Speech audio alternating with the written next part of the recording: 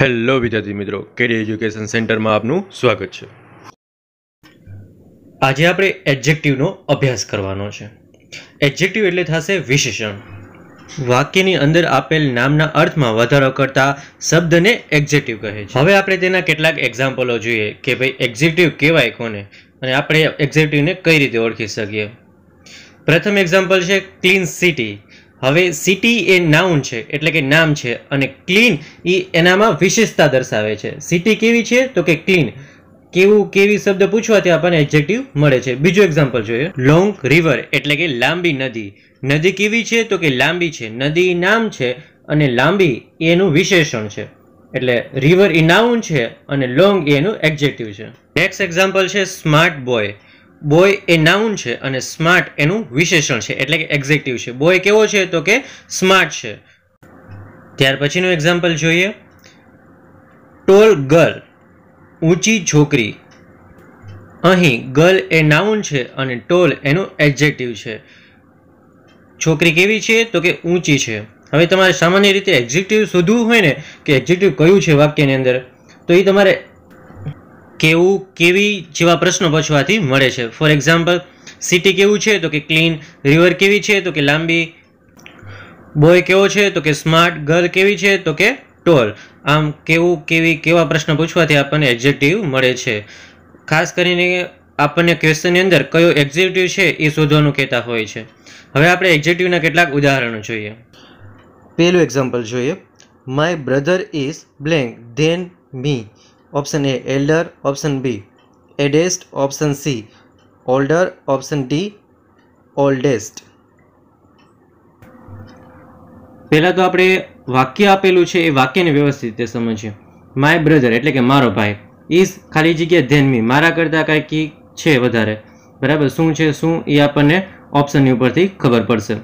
તો option A કહે છે, એલ્ડર, એટલે કે મોટો છે. બરાબર છે? તો કે my brother is elder than me મારો ભાઈ મારા કરતાં મોટો છે. તો ઓપ્શન સાચો લાગે છે આપણને કે ભાઈ હોઈ શકે, બરાબર છે. બીજો ઓપ્શન તપાસીએ. એડેસ્ટ એ તો સ્પેલિંગ જ ખોટો છે. Eldest eldest E L D S T હોય ને, તો એ સાચો સ્પેલિંગ ગણાય. તો એલ્ડેસ્ટ એટલે સૌથી મોટો છે. પણ અહીં સૌથી મોટું તો સુપરલેટિવ ડિગ્રી થઈ ગઈ, અહીંયા ધ્યાન છે એટલે કમ્પેરેટિવ ડિગ્રી છે. એટલે એલ્ડેસ્ટ તો આવશે જ નહીં, એટલે ઓપ્શન બી ખોટો ગણાશે. પછી જોઈએ. ઓલ્ડર અને ઓલ્ડેસ્ટ નો ઉપયોગ તમારા રિલેટિવમાં ન હોય, એટલે તમારા કુટુંબમાં ન હોય, એવા વ્યક્તિ તમારા કરતાં મોટો છે એવું દર્શાવવા માટે ઓલ્ડર અને ઓલ્ડેસ્ટનો ઉપયોગ થાય છે. ઓલ્ડર એટલે મારા કરતાં મોટો છે અને ઓલ્ડેસ્ટ એટલે સૌથી મોટો છે. આથી ઓલ્ડર અને ઓલ્ડેસ્ટ એ આપણી ખાલી જગ્યામાં નહીં આવે, કેમ કે માય બ્રધર લખ્યું છે, એટલે સંબંધી દર્શાવે છે, રિલેટિવ દર્શાવે છે, એટલે ઓલ્ડર જે છે અને ઓલ્ડેસ્ટ એ બેમાંથી એક પણ અહીં આવશે નહીં, તો આપણો સાચો જવાબ બનશે ઓપ્શન એ, એલ્ડર. આખું વાક્ય આ રીતે બનશે. My brother is elder than me મારો ભાઈ મારા કરતાં મોટો છે. નેક્સ્ટ એક્ઝામ્પલ જોઈએ. ડોન્ટ મેક બ્લેન્ક ડીલે મોડું કરોમાં હવે એના ઓપ્શન જોઈએ. કયા કયા ઓપ્શન આપેલા છે? Option A further option B further option C father option D none of this હવે અહીં પેલો ઓપ્શન જુઓ. એફ આર ફર્ધર આપેલું છે. જેનો અર્થ થાય આગળ. અને બીજો option F U R T H E R further આપેલું છે, જેનો અર્થ થાય વધુ. બરાબર છે?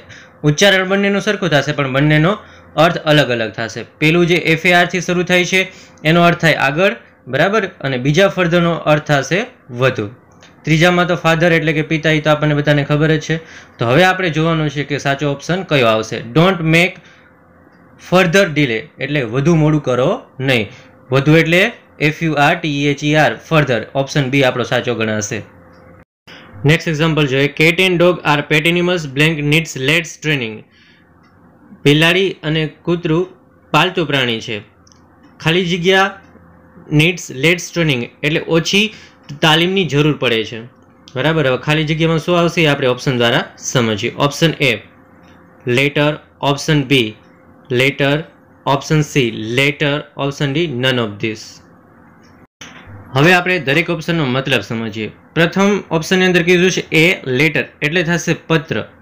ઓપ્શન બી એટલે L A double T R એનો મતલબ થશે પછી. ઓપ્શન સીની અંદર આપેલું છે L A double T R જેનો મતલબ થશે બીજા ક્રમનું. ચારે ચાર ઓપ્શન તપાસતા આપણને ઓપ્શન સી બંધ બેસતો દેખાય છે. Cat and dogs are pet animals latter needs less training બિલાડી અને કૂતરા પાલતુ પ્રાણી છે. બીજાને તાલીમની ઓછી જરૂરિયાત છે. બીજાને, બીજા ક્રમનું એટલે થશે latter L A double T next question જોઈએ. Each blank has a book દરેક પાસે બુક છે. ઈચ એટલે થશે દરેક. અને હેવ અ બુક એટલે બુક હોવી. એના ઓપ્શન આપણે તપાસીએ. કયા કયા ઓપ્શન છે? Option A student option B students option C students option D none of this હવે મિત્રો યાદ રાખો, ઈચ સાથે હંમેશા સિંગ્યુલર કાઉન્ટેબલ નાઉન એટલે કે એક વચન ગણી શકાય તેવા જ નામ આવે. બહુવચનવાળા આવશે નહીં અને કાઉન્ટેબલ હોવા જોઈએ. તો હવે તમે જો ઓપ્શન બી અને સીની અંદર બંને જે છે એ બહુવચનની અંદર છે. તો એ બંને આવશે નહીં. તો આપણો સાચો જવાબ બનશે ઓપ્શન એ સ્ટુડન્ટ ઓપ્શન બીની અંદર આમ બી સ્પેલિંગ પણ ખોટો આપેલો છે. ટી પાછળ ઈએસ ન લાગે, માત્ર એસ જ લાગે. ઓપ્શન બીની આવવાની કોઈ શક્યતા જ નથી. નેક્સ્ટ ક્વેશ્ચન જોઈએ. Blank the student has a book વિદ્યાર્થીઓ પાસે બુક છે. હવે એના જોઈએ કયા કયા ઓપ્શન આપેલા છે. Option A each option B every option C each of અને option D none of option તપાસીએ. ઓપ્શન એ એટલે ઈચ એટલે કે દરેક. ઓપ્શન બી એટલે એવરી એનો અર્થ થાય દરેક જ. હવે ઈચ અને એવરી એ બંને સાથે સિંગ્યુલર કાઉન્ટેબલ નાઉન આવે. એટલે કે એક વચન ગણી શકાય તેવા નાઉન એટલે કે નામો. પ્રશ્નની અંદર જોઈએ તો એમાં તો સ્ટુડન્ટ્સ એટલે કે બહુવચન આપેલું છે. સિંગ્યુલર નાઉન નથી પ્લુરલ નાઉન છે, બહુવચન નામ છે. તો એ અને બી નહીં આવે. હવે આપણી પાસે વધ્યો ઈચ ઓફ બરાબર? એક જ ઓપ્શન વધ્યો તો ઈ એક ઓપ્શન આવશે. તો આપણું આખું વાક્ય શું બનશે? Each of the student has a book દરેક વિદ્યાર્થીઓ પાસે ચોપડી છે. વધારામાં બીજી વસ્તુ પણ જાણી લો કે જ્યારે each each of every every ઓફથી વાક્ય શરૂ થતા હોય, ત્યારે નાઉન એક વચનમાં હોય કે બહુવચનમાં હોય વર્બ છે એ હંમેશા સિંગ્યુલર આવશે. એક વચન વર્બ જ આવશે. હવે તમે જો સ્ટુડન્ટ્સ આપેલું છે, પણ વર્બ કયો આવશે? એક વચનવાળો. હેઝ આપેલો છે. એવું નથી આપ્યો. બરાબર છે? એ તમારે યાદ રાખવાનું છે. નેક્સ્ટ ક્વેશ્ચન જોઈએ blank the two girls is beautiful ખાલી જગ્યા બે છોકરીઓ સુંદર છે. હવે ઓપ્શન જોઈએ કે શું ખાલી જગ્યામાં આવી શકે. Option A each option B every option C each of option D every of હવે જો ઈચ અને એવરી એનો મતલબ થશે દરેક. જે એક વચન ગણી શકાય તેવા નામો સાથે આવે. એક વચનમાં હોવું જોઈએ અને ગણી શકાય તેવું હોવું જોઈએ. એવા નામો સાથે આવી શકે. બરાબર છે? પરંતુ અહીંયા તો બહુવચન છે એટલે ઈચ અને એવરી એ બેમાંથી કે આવશે નહીં. હવે આપણી પાસે બીજા બે ઓપ્શન છે. ઈચ ઓફ અને એવરી ઓફ જેનો પણ મતલબ દરેક થાય છે. આ બંને હંમેશા બહુવચન નામો સાથે જ આવશે. બરાબર છે? પ્લુરલ નાઉન હોય એની જ સાથે આવશે. સિંગ્યુલર નાઉન સાથે આવશે નહીં. અહીંયા પ્લુરલ નાઉન છે, એટલે આ બેમાંથી એક આવી શકે. હવે ઈચ ઓફ આવે કે એવરી ઓફ આવે, એ આપણે સમજવાનું છે. હવે ધ્યાનથી સમજો ઈચ ઓફ છે ને, એ બે કે એનથી વધારે હોય ને, ત્યારે વપરાય. જ્યારે એવરી ઓફ માત્ર બેથી વધુ હોય ને, ત્યારે જ વપરાય. બે હોય ત્યારે વપરાતું નથી, એટલે અહીંયા બે જ છે, બે છોકરીની જ વાત થાય છે, એટલે એવરી ઓફ આવશે નહીં. તો હવે શું વધ્યું આપણી પાસે? ઈચ ઓફ તો આપણો સાચો જવાબ બનશે option C each of each of the two girls is beautiful બેમાંની દરેક છોકરી સુંદર છે. વધુમાં સમજીએ તો ઈચ અને એવરી એ બંને વચ્ચે આ જ ફરક છે. બંનેનો મતલબ સરખો છે, દરેક. ઈચ છે એ માત્ર બે કે તેથી વધારે માટે વપરાય છે, જ્યારે બેથી વધારે માટે વપરાય છે. નેક્સ્ટ ક્વેશ્ચન જોઈએ. ગાંધીજી અને Nehru are good person I like blank than latter Gandhiji અને નહેરુ સારા વ્યક્તિઓ છે. આઈ લાઈક હું પસંદ કરું છું. ધેન લેટર એટલે કે બીજા કરતાં. બીજા એટલે કે નહેરુ કરતાં. એ બીજા વ્યક્તિ બીજા ક્રમના વ્યક્તિ કરતાં હું એને વધારે પસંદ કરું છું. ઓપ્શન જોઈએ. Option A former option B foremost option C further option D further અહીં ફોર્મર એટલે થશે પહેલા. ઓપ્શન બી ફોર મોસ્ટ એટલે થશે પ્રાથમિક. ઓપ્શન સી ફર્ધર એટલે થશે આગળ. ઓપ્શન ડી ફર્ધર એટલે થશે વધુ.